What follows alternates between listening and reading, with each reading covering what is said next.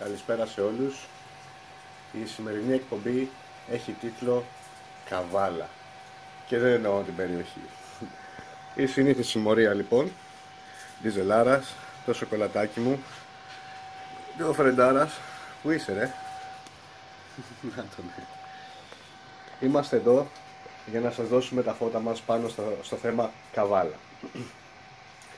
Αυτό το επεισόδιο πήρα αφορμή να το κάνω γιατί σε πολλά βιντεάκια μου μπορεί να έχετε προσέξει ότι ο Diesel καβαλάει το Φρέντο ή ο Φρέντο το Diesel και τα λοιπά.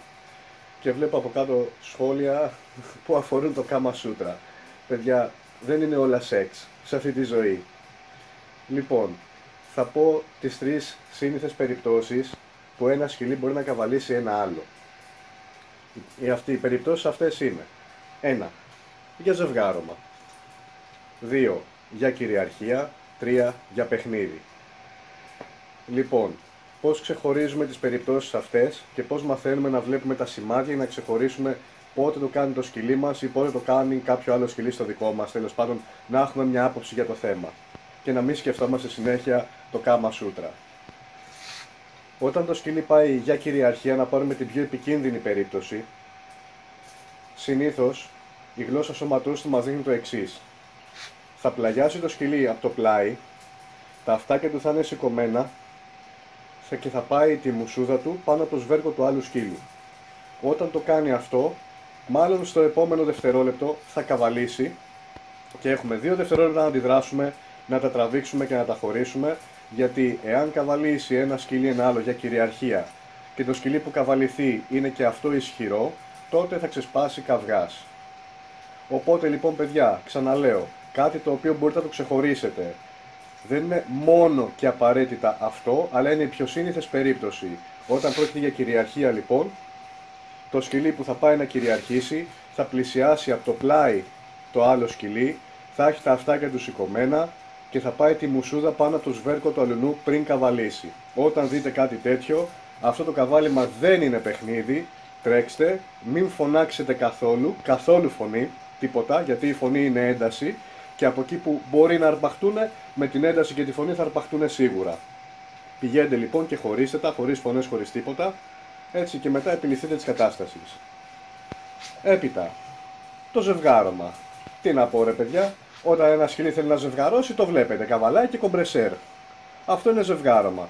Και είναι πολύ σύνηθες περίπτωση γιατί οι περισσότεροι από εσάς δυστυχώς έχετε αρσενικά και δεν τα στηρώνετε γιατί έχετε μπερδέψει τα δικά σας γεννητικά με τους σκύλους σας, ξεχάστε τα αυτά. Το ζωντανό λοιπόν έχει φάει φρίκι από τις ορμόνες και θέλει να ζευγαρώσει με ό,τι είναι κινητό, ακίνητο, τετράποδο, δίποδο, δεν ξέρω και εγώ τι άλλο. Αυτά τα σκυλιά που καβαλάνε τους πάντες και τα πάντα και προσπαθούν να κάνουν κουτάβια, προφανώς θέλουν να ζευγαρώσουν. Λοιπόν, αυτό παιδιά η λύση είναι η στήρωση. Δεν υπάρχει άλλη λύση ό,τι και να κάνετε, η φύση και οι ορμόνες του σκύλου είναι πιο δυνατές από αυτό που θα κάνετε. Θα το διορθώσετε 100 φορές, 100 φορές θα ξαναπάει. Δεν αλλάζει αυτό, ο μόνος τρόπος αντιμετώπισης είναι η στήρωση. Επίσης μπορεί να προκαλέσει πολύ μεγάλο καυγά, γιατί πηγαίνοντας και σε ένα θηλυκό ακόμα, το οποίο δεν δέχεται αυτό το πράγμα, θα αντιδράσει μία, δύο, τρεις, παιδιά κάποια στιγμή θα πλακωθούν.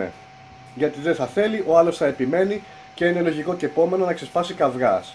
Επίσης τα αστήρωτα σκυλιά, τα οποία έχουν γίνει βλαμμένα από την έλλειψη ζευγαρώματος, που τα έχετε αφήσει τόσο καιρό, δεν πάνε μόνο σε θηλυκά, πάνε και σε αρσενικά. Και αν έρθει ένα τέτοιο σκυλάκι να κάνει κουτάβια στον ντίζελ, θα φύγετε με το λουράκι μετά μαζί. Προσοχή, στηρώστε. Στηρώστε, στηρώστε, θα το λέω συνέχεια. Αυτή λοιπόν ήταν η δεύτερη περίπτωση του ζευγαρώματος και η τρίτη περίπτωση του παιχνιδιού, για να μάθετε να το ξεχωρίζετε, είναι το εξής. Όταν το σκυλί πάει σαν το χαζοχαρούμενο και καβαλάει το άλλο, όχι από το πλάι, όχι να έχει διάθεση για ζευγάρωμα, γιατί τα δικά μου που βλέπετε και καβαλάει το ένα το άλλο, είναι στηρωμένα, δεν έχουν διάθεση για να ζευγαρώσουν.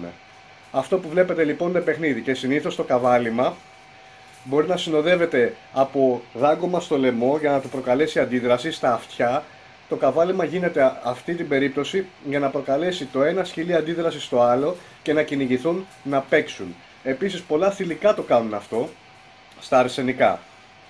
Η πιο σύνηθες περίπτωση είναι για παιχνίδι. Η κυριαρχία σας είπα πως ξεχωρίζει. Άμα δείτε θηλυκό να του κάνει σε αρσενικό, συνήθως είναι για παιχνίδι. Ξεχωρίστε όμως τη γλώσσα σώματος όπως σας είπα στην αρχή. Δεν είναι όλα παιχνίδι, δεν είναι όλα κυριαρχία. Ξεχωρίστε τα. Αυτό το βιντεάκι αυτό το σκοπό έχει να σας δώσει δύο, μικρά, δύο μικρές συμβουλές, δύο tips για να μπορείτε να έχετε μια πρώτη εικόνα να ξεχωρίζετε πότε καβαλάει ο σκύλος σας, πότε τον καβαλάνε και γιατί. Το παιχνίδι λοιπόν είναι όταν πάει το άλλο εκεί πέρα σαν το βλαμένο, σαν σαρδανάπαλο και χωρίς να μυρίσει, χωρίς να πλαγιάσει το σκυλί, χωρίς να πάει τη μουσούδα από πάνω, η γλώσσα σώματος είναι πιο χαλαρή και το βλέπετε ότι πάει και καβαλάει. Αυτό είναι παιχνίδι. Αυτά λοιπόν είχα να σας πω παιδιά. Οπότε όταν βλέπετε κάτι δεν είναι σεξ και βία, δεν είναι καμασούτρα, μάθετε να τα ξεχωρίζετε γιατί πέρα από το χαβαλέ και το βιντεάκι είναι πάρα πολύ σημαντικό. Μπορεί να ξεσπάσει μεγάλος καυγάς με μια τέτοια αντίδραση. Και τώρα το γατί μου μάλλον έρχεται για αγκαλιά. Ε ναι, αλίμονο. Τόση ώρα χωρίς αγκαλιά, αλίμονο. Έλα άγριο pitbull, έλα, κοίτα εδώ. Κοίτα χάλι, κοίτα προσπάθεια, εδώ κοίτα. Έλα ρε. Σιγά. Ορίστε.